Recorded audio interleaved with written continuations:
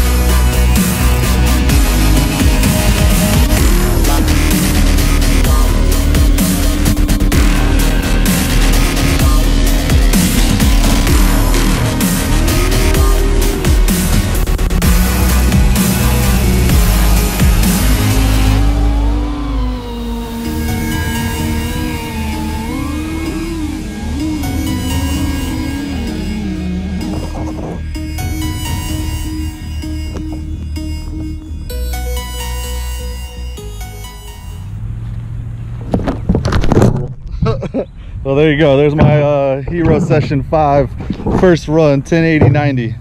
Hope you enjoyed. Motors aren't even warm. Neither's the battery. Whew. Chef PV, ZeroGround FPV, baby. Peace.